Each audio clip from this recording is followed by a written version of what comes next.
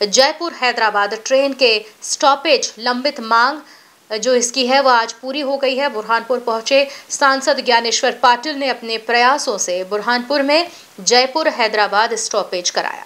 Railway संगठन समिति, गुजराती समाज और मारवाड़ी समाज के लोग कई महीनों से ट्रेन के स्टॉपेज की मांग कर रहे थे, जिसे सांसद ज्ञानेश्वर पाटिल ने रेल मंत्री की अनुशंसा पर पूरा करवाया। बुरहानपुर स्टेशन पर पहुँचे सांसद ने ट्रेन को हरी झंडी दिखाकर रवाना किया।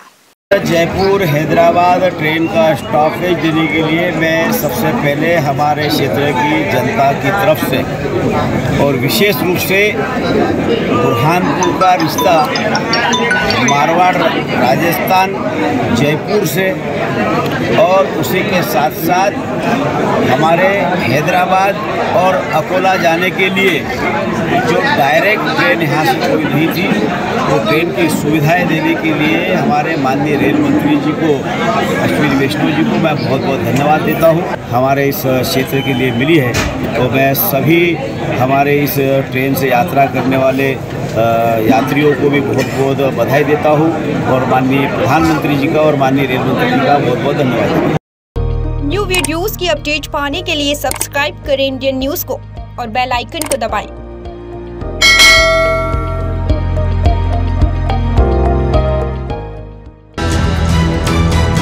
है इंदू ब्रॉडकास्टिंग प्राइवेट लिमिटेड और आप देख रहे हैं इंडियन न्यूज़। हर पल, हर क्षण, हर सच।